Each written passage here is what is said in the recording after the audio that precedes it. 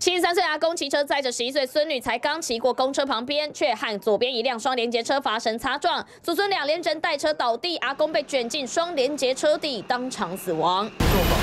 车祸现场还遗留孙女的粉红色书包和安全帽，阿公的拖鞋也掉在地上。幸好小朋友只有手脚多处擦挫伤，但却目睹了阿公被卷进车底。在小朋友上课。事发在台中潭子中山路二段桥中国小校门前，时间是十二号早上七点多，是上班上课时间。死者是七十三岁的报姓男子，他正要载十一岁孙女到头家国小上学，结果半路和双连结车擦撞。一开始警方勘查现场，以为是公车先撞到祖孙俩才卷进连结车，但公车业者调阅行车。记录器澄清，当时公车已经停靠路边到站下客，这时候祖孙已经超过公车。公车下课完之后起步没有多久，祖孙俩就发生碰撞。因为迄阵个乌多摆啦，啥？来愣去，愣来愣去。